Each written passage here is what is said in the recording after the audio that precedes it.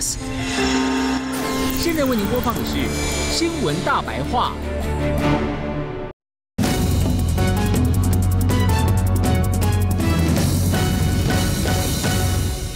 大家晚安，我是陈燕莹，欢迎来到新闻大白话。接下来两个小时国内外大小事，要用您听懂的话说给您听。现在介绍这些小时来宾，首先介绍是资深媒体人康仁俊，燕莹好，大家好，以及立法委员谢龙介，呃，边安，以及资深媒体人陈慧文。对边。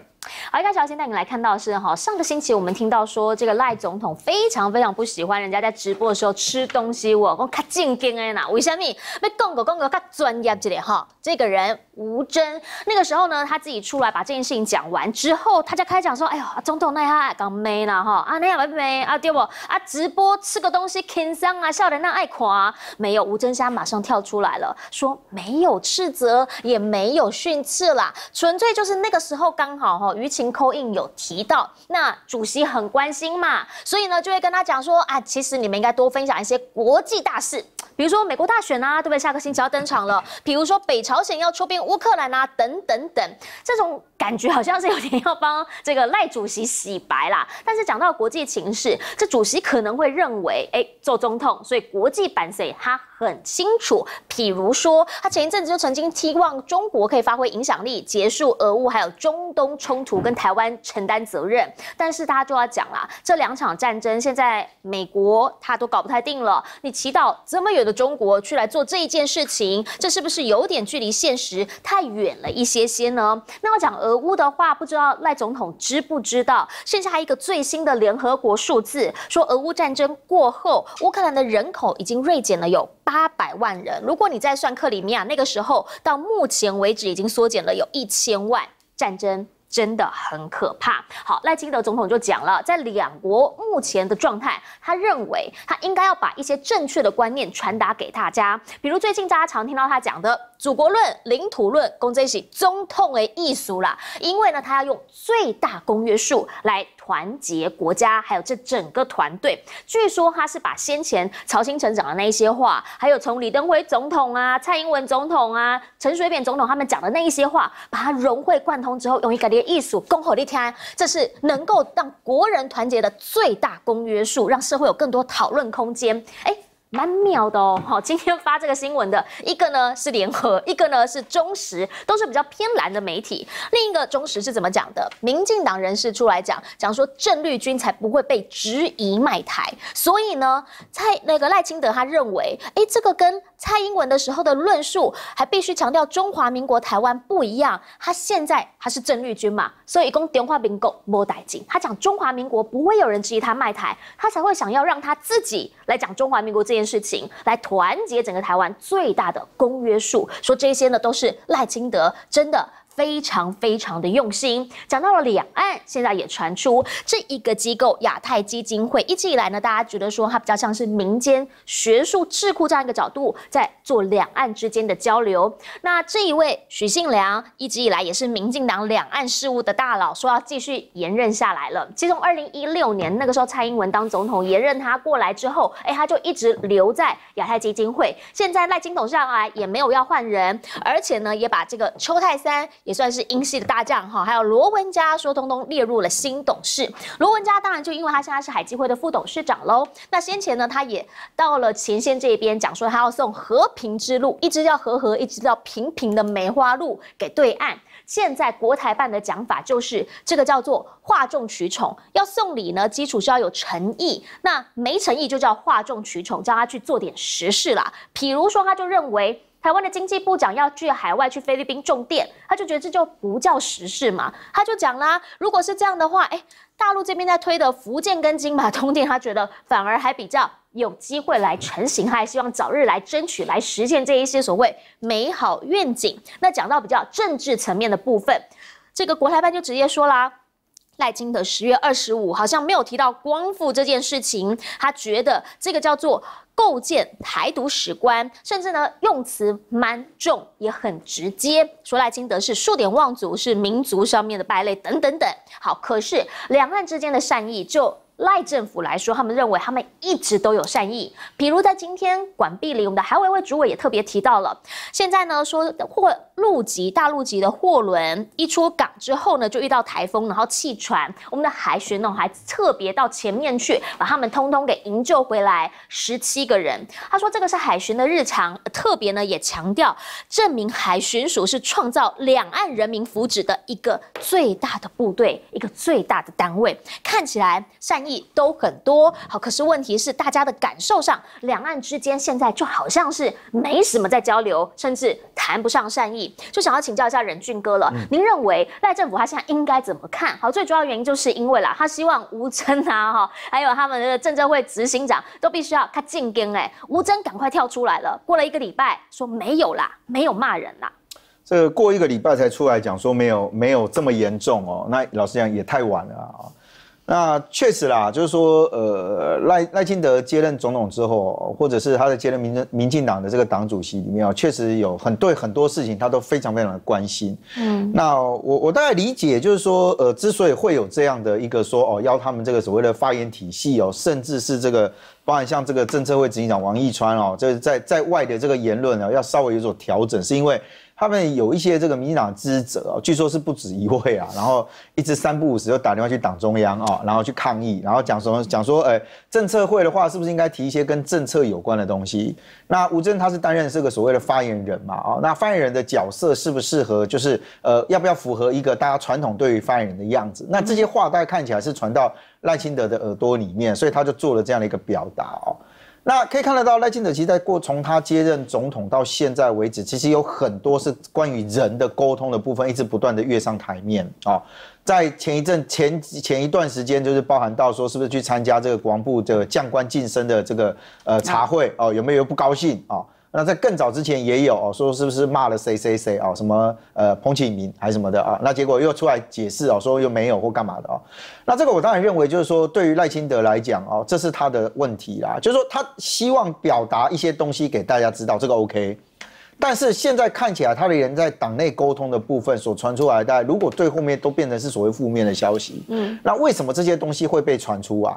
就如果一开始传出来就讲说，啊，对啊，赖赖总统就希望我们怎么样怎样，那就 OK 了。结果传出来是赖总统就不高兴，然后训斥赖主席说了什么话，然后最后再讲说啊，没有没有，外界想的太严重，其实没有这么讲。那你在第一时间传出这个讯息的时候，为什么不能够做一个对你们来讲比较和缓的表达？所以我觉得这个当然是赖清德他可能必须要去面对，不管是他在总统的这个职务，或者在党主席的这样的一个职务上面啊。那当然，赖清德在这一段时间被认为说他把中华民国的这个这个招牌哦，都很常挂在嘴上。其实我个人是认同了啊，但我觉得回归到还是就是说，如果他要把它挂在嘴上，大家更在乎的是，那你做出来之后有没有符合中华民国的这个国家利益？是这个当然就会跟两岸有关系啊。就是说过去是因为可能是民进党自己本身的神主牌来讲，所以他既然要抗中保台。那如果这个所谓的抗中保台的台现在已经置换变成叫做中华民国，嗯，那基于整个国家利益来讲，我的抗对抗的抗要抗到什么程度，叫做符合中华民国的利益？这件事情我其实觉得民进党是必须要认真去思考的，嗯，因为这个会牵扯到你整个的，包含你如果神主牌的部分，你愿意做一些调整的话，那有一些神主牌是不是要一成不变？比如说你刚刚提到。电的这件事情嘛，啊，说我不管大陆国台办怎么讲啦，因为老实讲，他讲他的那个跟我们来说，到底会有实质影响？那很多是政治性的语言啊。昨天你看到我们的经济部长郭志辉哦，在这个被人家问到的时候，他就讲说，哦，今天这个我我们如果讲说有这个国外，我们希望厂商进来啊，嗯，那进厂商说，哦，我如果回来这个辉达哦要来设厂的话，要一百亿度的绿电，对，结果我们的经济部长立刻说，可以啊，没问题。那结果被质疑啊，说我们现在绿电的部分才两百六十亿度啊，嗯，你今天空就空口就说一百亿度没问题，我就给他。那请问破口从哪里来？我们现在的电是一掰一掰哦，嗯，就是我现在整体的这个电的部分，其实老实讲，他们都说没缺，没缺，为什么哦？台湾不缺电，是因为我们现在从数字上面看起来，我们呃实质上的发电量跟用电的是来到一个呃，他们讲叫平衡呐啊。那你一百亿度你就这么答应出去了啊啊？请问啊，这一百亿度的扣打从哪里来？那我们可爱的这个郭志辉哦，他被人家问到，他说什么？啊，反正又不是现在要啊，等到他真正要的时候，我们来，我们到到时候再来来来解决。哎，那我就讲实话，你郭志辉从一开始的时候搞什么核电政策，你也可以调整，就被骂。然后呢，前一阵子说什么不缺电，也被人家讲啊。然后再来就是说要跟菲律宾搞电厂、海底电缆，你又道歉。啊，现在又来了一个说一百亿度另外现在公共会啊，他还讲了一句话说，因为我以前不是经济部部长，你现在问我就可以告诉你，你要不要想想你前面多少次的发言关于电的这一块，你都一直被打枪，所以我其实认为就是说他我比较友善的想说是他可能希望厂商能够回来投资，可是当涉及到能源这种很务实的问题的时候，你就随口就、啊、没问题，我通通都答应。那、你都做不到嘞，什么样叫做反正他又不是现在要，哎，这种话说出来你就知道这完全是一个不负责任，就是先先甲骗，好，先甲讲有，你不要想我让我你啊个告我，我这样个我咱就就过过来瞧，啊，如果是这种方式的话，你就发现那种即兴式的回答是很糟糕的、啊。新朋友要供吗？不知道有没有接到我们赖总统的电话？赖总统感觉亲力亲为啦，所以呢，刘盖生你怎么样来看？因为他现在就告诉大家了，现在呢，你们发现他一直在讲中华民国领土论加祖国论，还是以综合各方的说法一修出来。你进行策乱呐，哦，这个当然内行的看破底，外行的对南北，我们很理解。这次的讲话是在美国不想有意外发生的状况之下，那美国也必须对北京来做一个交代。那所以我在帮你管控它。嗯，那十一月五号他们就要投票了，所以他不想在这个时候呢出了乱子。各位不要小看啊，北京如果说这对于这个美国的选举啊，真的是要下指挥棋的指导期的时候，你看有多少华人在美国里面，那是会引起到这个投票倾向的改变的，所以不可能出来。所以当天你可以看到他就是按表操课，嗯，照着搞，这边看看那边看看，就是一直是这个角度。所以为什么独派会俩拱嘛？独派就是说你把他已经搞到这样子，但是赖清德的内心跟他解释是我还是独的啊，嗯，啊，所以他变成四不像。这个就是很明显的看出他现在有这个困境，但他跟美国也是在搞一个新的路线，他不愿意再透过原本包括萧美琴、包括蔡英文总统这个路线，他要自己啊跟美国建立一个新的沟通管道。当这个新的沟通管道下来的时候，你就可以看到国安团队的改变嘛。所以现阶段不得不，他是在被管控当中，所以你看他。愁眉不展，秋眉不瞪了，他不会快乐的啊！纵然他想要把这个台独的概念置入，但是他不敢大拉拉的去做，所以就变成跟原本的独派、基本的独派这些人看的就很不爽的啊！你不应该是这样子的。好，那看到 罗文佳，那罗文佳就现在就谈到赖清德的用人，能让赖清德信任你的不多，嗯。所以他用人的范围也很窄，那包括像罗文佳，本来他是蛮优秀的哦，在民进党里面他可以算优秀的，可是他跟马永成的命运就不同了。嗯，啊，显然赖清德对马永成的信任、信赖比罗文佳多一点，所以这个就你在看到民进党内部，他赖清德叫你说直播要怎么样、怎么样、怎么样这个过程呢？他是认为。赖清德大于民进党，所以如果不是这一次是提名赖清德出来选，民进党政权不保，也只有赖清德他勉强才能拿到四十八。所以蓝白没有合作，那如果是别人蓝白不合也不会赢。嗯，所以他是要出来拯救民进党。嗯，所以不是你们这些个别的委员什么你们支持我不是这样，是我。有我在，你们才能当选。对啊。第二，所以我是来救民进党，我来救台湾。哦，这这个是你要先了解他在想什么，他的个性是什么。所以包括这些人，伊家你点起多少年，伊咖喱安那者。所以你们要去按照他的说法来，包括他在内部啊，他说什么啊？你得爱抢，一起不讲抢假两改啊？那个你们要发短影片啊，你们要直播，你们要去谈什么？哎。啊，应该你都有知道，也许我们媒体朋友都有说到，他们内部是在沟通这个啊，他们有一个中央厨房啊，哦啊，总统希望您啊，那在那一块就是朱谢希望您啊，哦，那就表示他也了解到新媒体哦新生态，那他要怎么去改变？可是对于用人这一块，一波都可以改变，他还是要按照他本来他所想，他能信任的人不多，而且你看嘛。打黑金。现在他这种做法已经让鹰派慢慢鹰系的慢慢在集结，啊，因为他现在包括光电处理的，就是原本鹰系的那一路啊。但是你到菲律宾，菲律宾是谁的？不是英系耶，哦，那为什么最近很多的什么菲律宾投资说明会那闭上？我刚刚就跟你讲啊，你为什么要把老美拉进来？哎，你从菲律宾那一条电缆你都会沙盘推演，被四周被封锁，瓦斯进不来的时候怎么样的时候，要断你一条海底电缆会很难吗？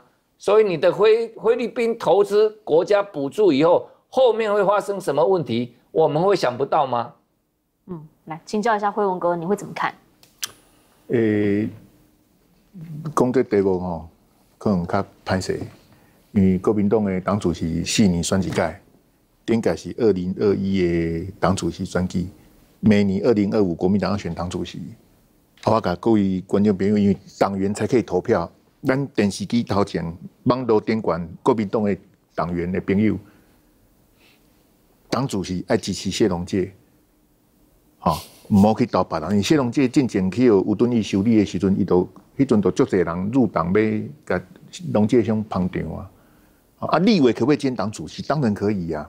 江启臣就立委兼党主席呀，对不对？黄国昌以前也当过党主席啊。谁说立委不能当党主席？是立法院长不能当党主席，但立委是可以兼这个党主席的哈。所以，请为什么要甲谢龙介捧场是安呢？就杜家地公这十月九号的中常会去登出来哈，就就跟什么东西很像哦。我我我给跟大家讲哦，跟这个很像啊。习近平叫拜登什么什么什么什么反台独什么，这个是去年的事情呢。去年十一月的 APEC 啊，立马好的，这这都啊啊，这个是什么？这个是十月九号的中常会，然后现在再再出来放消息，今天看这新闻哈，都都讲睁眼引供哎。为什么他放消息给联合报跟中国时报，在收割你那些逻辑不清楚的中华民国粉呢？